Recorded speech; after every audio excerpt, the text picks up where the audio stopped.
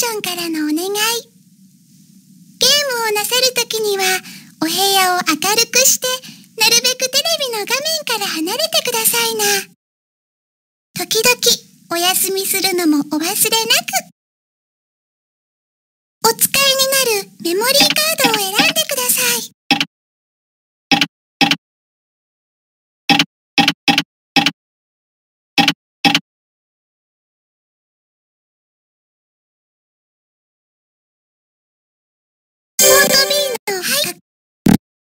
時間からゲームですか？お疲れ様。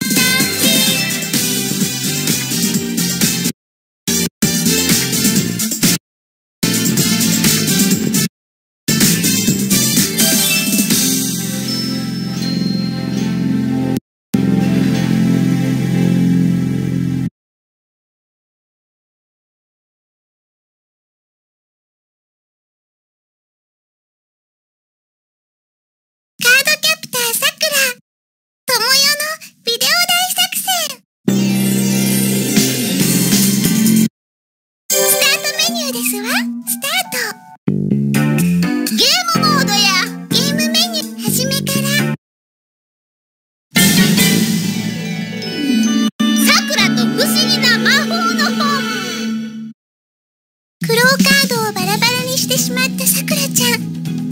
カードの番人であるケロちゃんに言われるがままカードキャプターさくらに。その日の夜に突然すごい風が街に吹き荒れます。ケロちゃんはクローカードの仕業であると言います。心の準備もできないまま